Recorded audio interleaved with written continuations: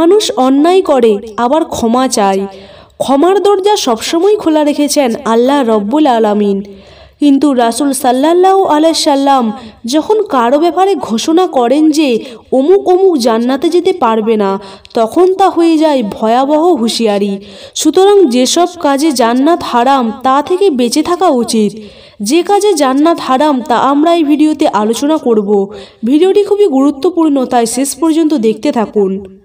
রাসুল সাল্লাল্লাহু আলাইসাল্লাম বলেছেন, তিন শ্রেণির মানুষের উপর আল্লাহর জান্নাত হারাম, অর্থাৎ এই তিন শ্রেণির মানুষ কখনোই জান্নাতে প্রবেশ করতে পারবে না।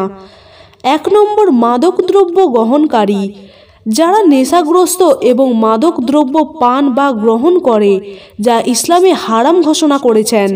তাই যে কোনো প্রকারের নেশায় বর্জন করা উচিত, কারণ নেশা বা মাদক গ্রহণ করলে দেহ অপবিত্র হয়ে যাবে, আর এই অপবিত্র দেহ কখনো জান্নাতে প্রবেশ করবে না। দুই নম্বর, অবাধ্য সন্তান। পিতামাতার অবাধ্য সন্তান, এই শ্রেণীভুক্ত মানুষটাও জান্নাতে যাবে না। যার ওপর পিতামাতা অসন্তুষ্ট, তার জন্য জান্নাত হারাম। তাই মৃত্যু পর্যন্ত পিতামাতার খেদমত করতেই হবে। পিতামাতাকে কোনোভাবেই ত্যাগ করা যাবে না। রাসুল সাল্লাহ আলাইসাল্লাম পরিষ্কারভাবে বলেছেন, পিতামাতার অবাধ্য সন্তান জান্নাতে প্রবেশ করবে না।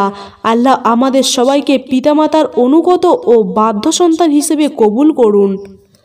তিন নম্বর দায়ুষ দায়ুষ ওই ব্যক্তি যে তার পরিবারে পর্দা প্রথা চালু রাখেনি।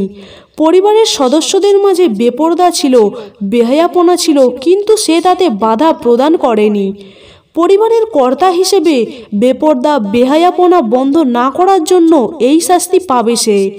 তিনি যত বড় ইবাদতকারী আর তাহাজুদ গুজার ব্যক্তি হোক না কেন, যত দান সাদগাই করুন না কেন, তিনি যদি পরিবারের কর্তা ব্যক্তি হিসেবে দায়িত্ব পালন না করেন, তবে তার জন্য জান্নাত হারাম। সুতরাং পরিবারের কর্তা ব্যক্তির উচিত পরিবারে পর্দার বাস্তবায়ন করা। যে বেপর্দায় চলে, সেও হলো দায়ুষ হোক পুরুষ বা নারী। আর দায়ুষ জান্নাতে প্রবেশ করতে পারবে না। পরিশেষে আল্লাহ তাআলা আমাদেরকে এ কাজগুলো থেকে হেফাজত করুন। হে আল্লাহ, আমরা মাদক তথা নেশা থেকে মুক্তি চাই, পিতামাতার খেদমত করতে চাই, পরিবার পরিজনকে পর্দায় রাখতে চাই। আপনি আমাদের কর্মে সহায়ন আমাদের কবুল করুন, আমিন। আজ একটা সুন্দর ভিডিও নিয়ে আপনাদের সামনে আলোচনা করলাম। পরবর্তী ভিডিওতে এইরকম আরও সুন্দর হাদিস নিয়ে আপনাদের সামনে উপস্থিত হব। তাই বন্ধুরা, আমাদের চ্যানেলের এই ভিডিও যারা নতুন দেখছেন, তারা চ্যানেলটি এখনই সাবস্ক্রাইব করে দেন। আর যারা সাবস্ক্রাইব করে রেখেছেন, তাদের অসংখ্য ধন্যবাদ। ইসলাম প্রচারে আপনারা আমাদের এই ভিডিওটি বেশি বেশি শেয়ার করুন। ভালো থাকুন, সুস্থ থাকুন, খুদা হাফিজ।